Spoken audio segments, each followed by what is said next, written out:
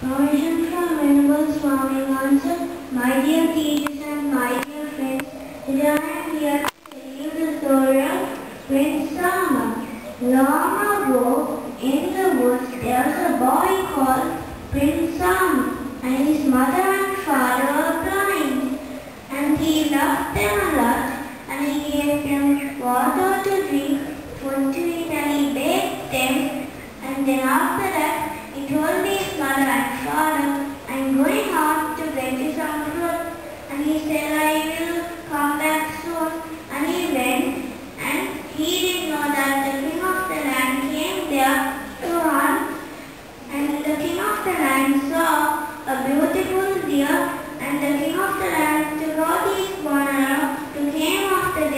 Then go off his and the arrow came into Prince Sama, and then after that, Prince Sama cried in pain and fell on the ground. And after that, the king knew that he didn't hit the deer, he only hit a human being. So he ran and he saw that he had hit Prince.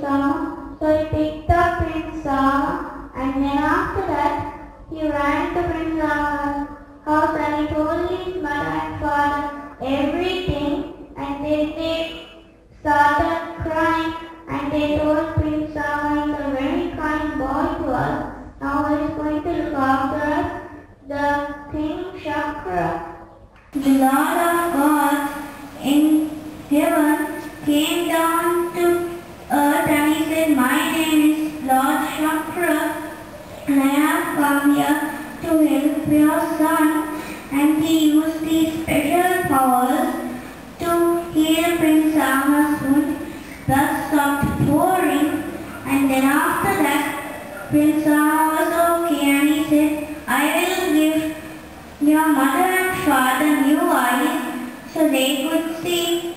So he used these special powers and suddenly Prince Sama's mother and father would be able to see. So everybody cheers for Lord Shakra. So from this story we learn that if we love our mothers and fathers, and if we take care of them, and if we do a nice thing, they will also love us back.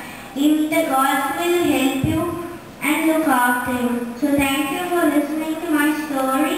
Tell Ram Sarnai.